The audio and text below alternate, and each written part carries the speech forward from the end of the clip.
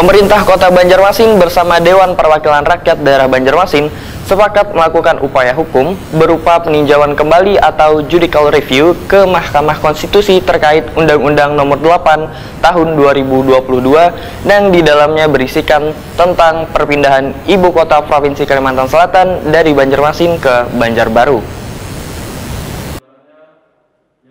Pemerintah Kota Banjarmasin bersama Dewan Perwakilan Rakyat Daerah Banjarmasin sepakat melakukan upaya hukum berupa peninjauan kembali atau judicial review ke Mahkamah Konstitusi terkait Undang-Undang Nomor 8 Tahun 2022 yang di dalamnya berisikan tentang perpindahan ibu kota Provinsi Kalimantan Selatan dari Banjarmasin ke Banjarbaru.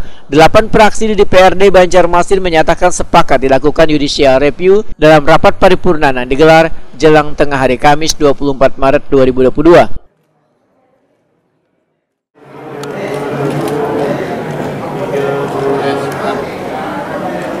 Menyerah wajah sampai ke puting. Arah menyerah.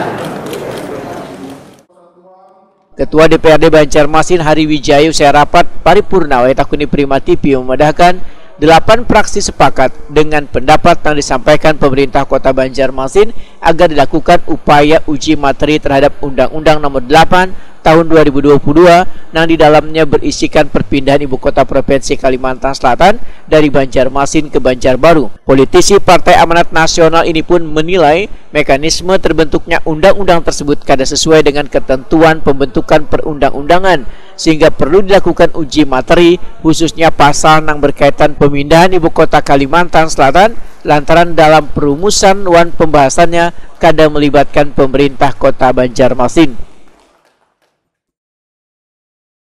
8 tahun 2022 itu kita satu visi dengan kepala daerah untuk berjuang de, dengan memakai semboyan wajah sampai ke puting bahwa kita tetap ingin mempertahankan status ibu kota kota Banjar uh, di kota Banjarmasin. Mudah-mudahan uh, perjuangan kita mendapatkan hasil yang sesuai yang kita inginkan. Kalau pertimbangan utama dari Dewan sendiri nih Pak dalam rapat praksi tadi Pak dalam tanggapannya mungkin apa nih Pak? Ya untuk garis besarnya pertimbangannya itu mekanisme pembentukan peraturan perundang-undang uh, undang-undang tersebut itu tidak uh, kita anggap masih tidak melaksanakan sesuai dengan prosedur pembuatan peraturan perundang-undangan karena hampir tidak adanya dilibatkannya pemerintah kota Banjarmasin selaku ibu kota sebelumnya sebelum diputuskan bahwa Banjarbaru sebagai ibu kota tidak ada uh, dilibatkan oleh ma masyarakat untuk sosialisasi dan keputusan itu kita anggap masih cacat hukum. Wali Kota Banjarmasin Ibnu Sina berharap semangat seluruh elemen serta restu warga kota Seribu Sungai ini maka tujuan bersama mengembalikan ibu kota provinsi Kalimantan Selatan ke Banjarmasin dapat terwujud. Menurut Ibnu Sina, waktu yang diberikan untuk melakukan langkah bersama bagian hukum Setda Banjarmasin dalam menyampaikan gugatan ke Mahkamah Konstitusi hanya 45 hari untuk uji formil setelah 16 Maret lalu, tetapi untuk uji material tanpa diberikan batas waktu. Yang inti adalah bagian hukum. Karena itu kan yang apa namanya uh, instrumen pemerintah daerah.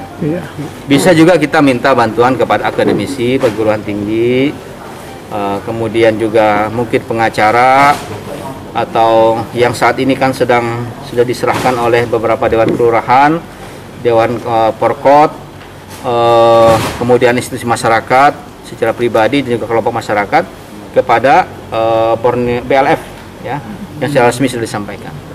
Nah oleh karena itu uh, saya kira ini adalah bagian dari tugas sejarah kita mengembalikan sejarah kota Banjarmasin sebagai ibu kota provinsi Kalimantan Selatan bahkan ibu kota provinsi Kalimantan pada awalnya uh, 8 provinsi yang dibentuk oleh Bung Karno ketika Indonesia ini lahir.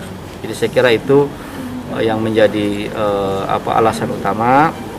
Mudah-mudahan ini didukung dan mudah-mudahan uh, hakim-hakim konstitusi bisa menilai secara objektif agar undang-undang uh, ini kemudian bisa dikembalikan bahwa ibu kota provinsi Kalimantan Selatan adalah kota Banjarmasin.